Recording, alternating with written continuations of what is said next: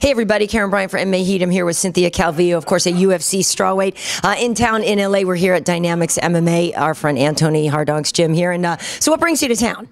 Uh, just having a few meetings out here, business meetings, um, and just you know spending the weekend out here. Um, but that's it. Checking out LA, having a good time. Very cool. Well, there's a lot I want to talk to you about, but I guess first and foremost, um, we should talk about when you can actually return to action. If you guys don't remember, Cynthia fought four times in 2017, won three out of them, uh, lost the last one, but afterwards you tested positive for marijuana metabolites, right? So they gave you a suspension. How long is that? When are you eligible again? Um, well, the Nevada State Commission ended me suspended me for nine months, so I'm not. Bullcrap.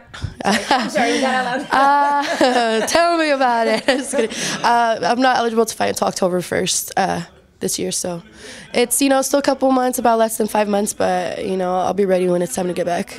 And so, what what do you think was the most frustrating part about that? Just the fact that they consider um, that to be a, a, banned substance and a performance uh, enhancer, or the fact that um, the way the testing went, it, it, it was just kind of screwy for you? I think both. I mean, the fact that it's even on the banned list, you know, because there's a lot of other things out there that are not on the list that yeah. you're allowed to use, which is pretty insane. Um, and then also just uh, the length of the suspension. Um, you know, USADA was you know, they gave me six months and then was uh, giving me the the chance to reduce that time by half to three months. I would have been eligible to fight in April already, but uh, the Nevada State Commission wanted to give me nine months and give other athletes who actually use, uh, you know, performance enhancement drugs and give them le way lesser time. So I just think it's a whole lot of um, you know bullcrap for sure. Um, and then also just the way of the testing is that it's very inaccurate. You know to really show whether you know you were using THC in competition, which I was definitely not using in competition.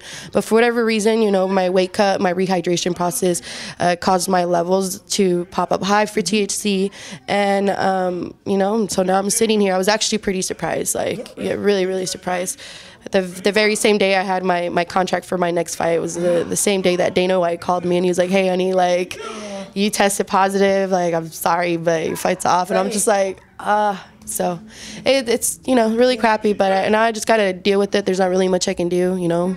Um, I'm not going to bother trying to fight it. By the time, you know, anything happens, it's going to be time for me to fight. So I'm more focused on, you know, just getting back and being even way better than I was last year. So I feel bad for whoever my next opponent is.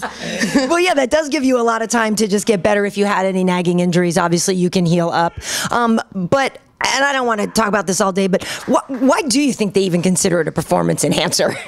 I mean, I think it's just uh, some people, maybe people that haven't used uh, cannabis, and some people that have. Some people, it just depends. I feel like there's anything you can use, you can you can abuse. Like it doesn't matter what it is. So.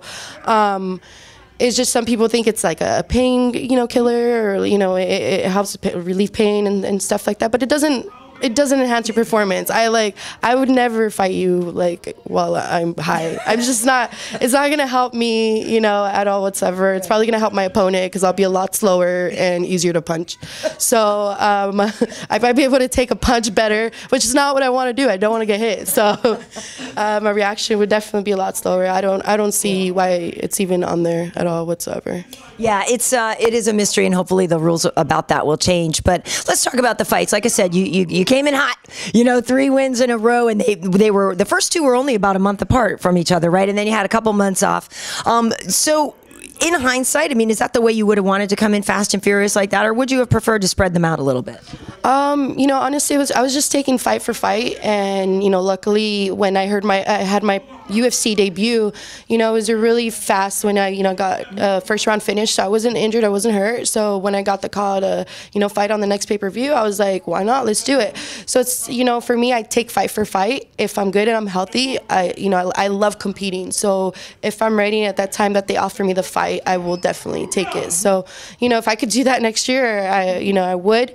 Of course, I, I also want to be smart about it and allow my body to heal up because, you know, you, you don't want to be doing just like weight cuts and being have that fight or fight mentality and fight camp and being all stressed out, you know. It's kind of hard for a girl, but uh, you know, I just like was crazy all last year.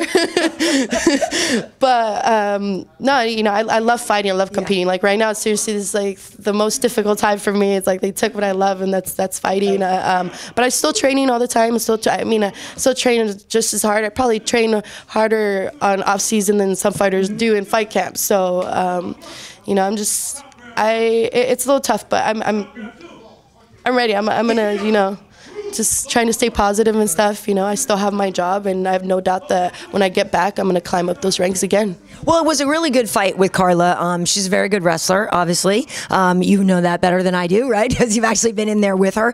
But when you look at the division right now, um, who who do you think would be a good opponent for you? I know there's a lot going on, and by the time you do fight in October, you know the, the, the rankings and things could be a little bit different. But are there a few people on your hit list that you'd love to match up with? Uh, yeah, everybody on the roster. I would love to fight everybody, every single strawweight, and then after that, I, you know, I would love to move up to 125s because I've, I've fought at 25s when I actually made my professional debut.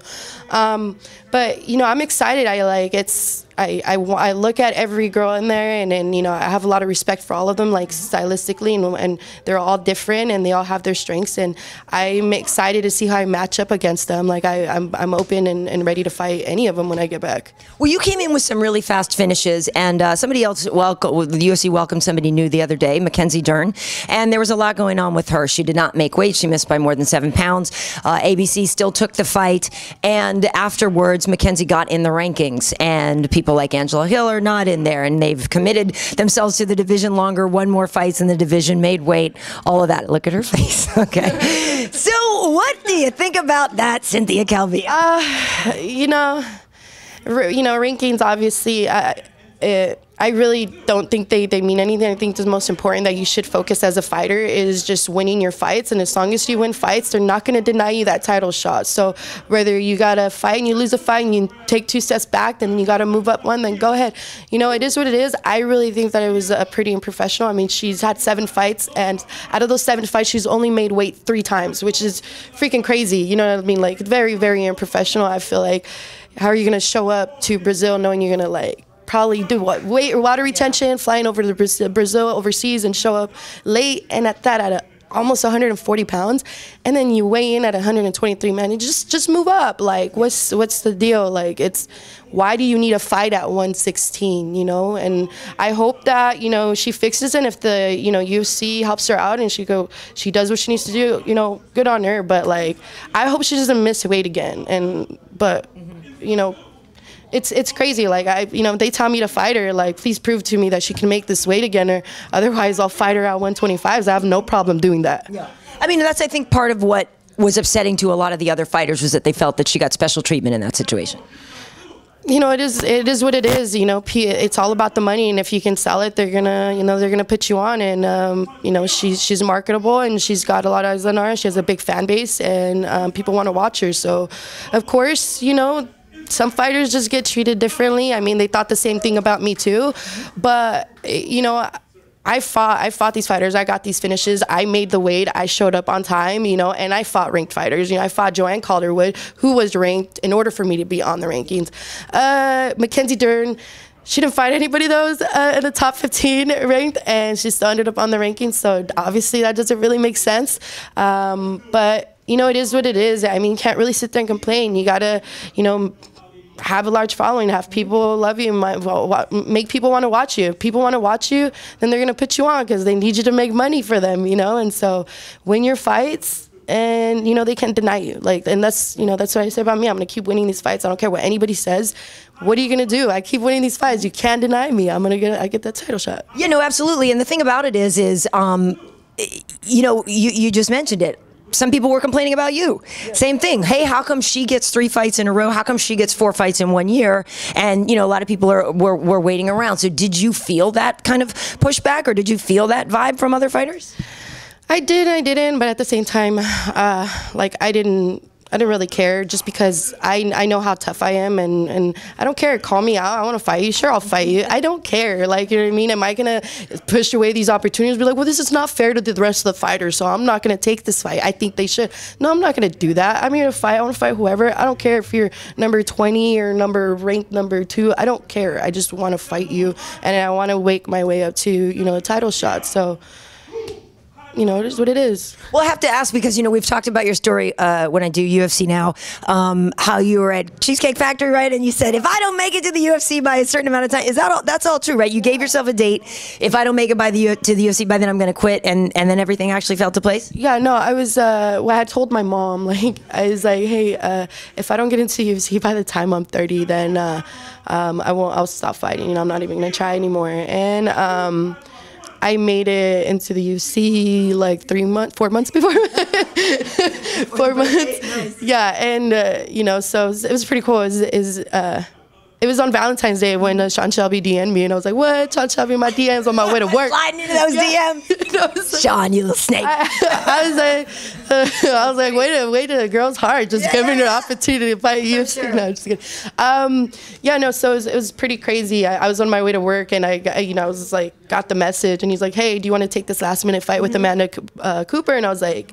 Uh, yes, you know, and he's like, okay, I'll let you know whether it happens. There's a few options. We'll see, you know, who, you know, w- what fight she'll take. And I was like, all right. And like, I was just so excited. I ended up like went the wrong way. I went to the gym, and I was like, oh shit, I'm late to work. You're in your white cra- outfit. I was in my work outfit and I was like, oh crap, okay, so I got late to work and but I couldn't like really like tell everybody to F off yet because I didn't like have the fight, you know, I had no contract, it was a maybe.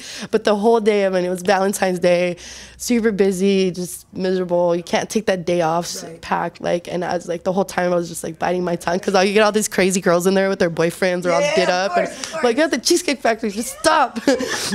and so by the end of my shift, uh, uh, he sent me another message. He's like, "The fight is yours," and I was like, "Yes." so um, yeah, it was, it was it was probably like yeah one of the best days of my life for sure last year. That is I so have a boyfriend, but I got a UFC fight. even better, um, which which is great. But you know, you, you you mentioned it before that you could possibly move up to 25. Um, is it is uh, is it really hard for you to make 15? And and you know, how long do you think you could stay there um, versus moving up? Um, yeah, it is. It is a, a tough weight cut. Like the 125s is pretty easy for me to do. Um, not not hard. Um, and one at 115, I can just like barely make it. It's it's doable. It's just tough weight cut. Um, I'm hoping that eventually everybody just starts moving up a little bit better. I know that like in other uh, promotions and stuff, they started, you know, making the fighters fight closer to their walking around weight and stuff, and having the hydrations tests and and making sure that these fighters are cutting the weight properly because there is a lot of times where people don't know how to cut weight properly and you know you know it's like the same thing even for like Mackenzie Dern. Like it's unfortunate. Like what are you doing to your body to, to do that if you're not you know you shouldn't be walking around at 140 pounds. I don't know I don't know what you started your fight camp at. Like, if you're gonna show up on fight week at a 140 and have to weigh in at 116, like that's not, it's not healthy to do that, especially as a as a woman. Like a lot of like, I feel like for the most, like if anything, and you know, anything from like seven to like 14 pounds, like you know, I've I've cut like about 15 to 17 pounds in a week, and she was supposed to cut more. I mean, think about that from like 140 to what the heck? How that's the I, un, unthinkable, like unimaginable. And so, um, I'm hoping that you know I'm gonna f- you know. I feel like I'm gonna stay at the in the strawweight division. I definitely want to fight everybody, and, and you know I want to get that belt, and I want to move up and be a two-time division champ. You know, I just want to break records, and and you know I want to build my legacy. Like I want to be considered one of the best fighters in the world. You know, so um, anything and all the opportunities, strawweight, going up to flyweight. Nice. Well, you're you're definitely on your way. And do you um, do you think Rose will be at the top for a while?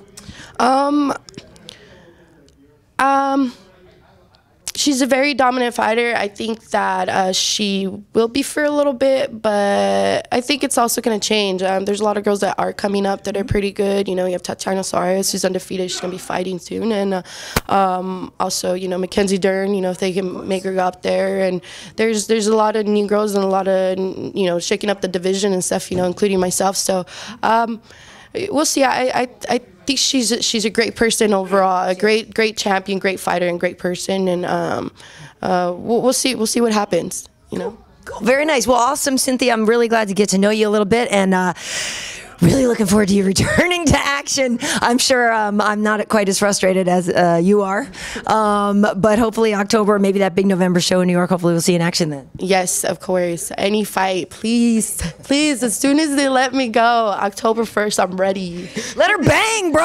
yes, let me bang, bro. Just let me bang. Thanks, Cynthia. Thanks. Hi, I'm Cynthia Calvillo, and you're watching MMA Heat.